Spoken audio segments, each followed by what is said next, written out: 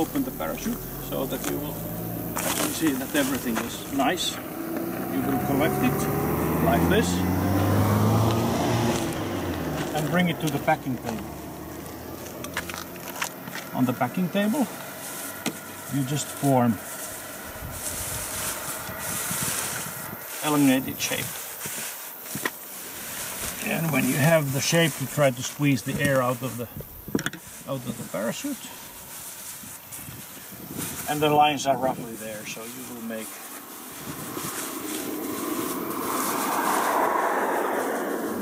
see shape here. And now it's ready to be squeezed in.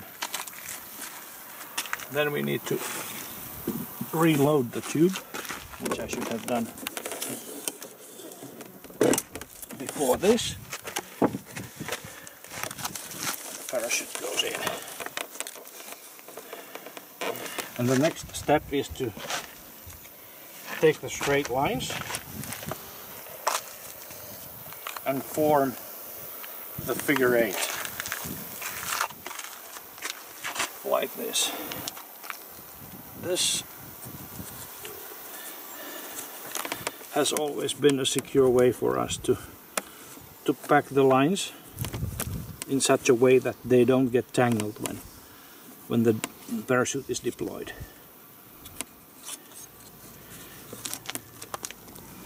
And at this point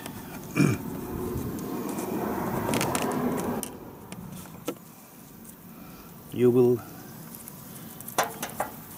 again connect the shackle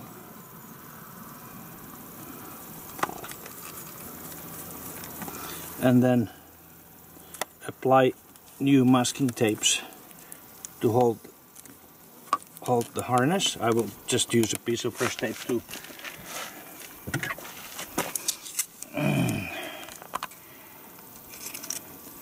using the fresh tape.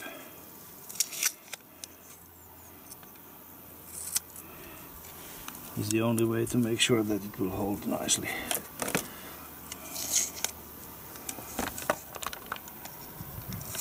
And I'm also securing the cap.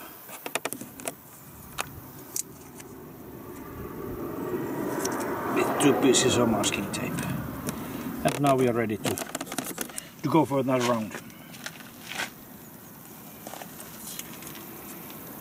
Ready.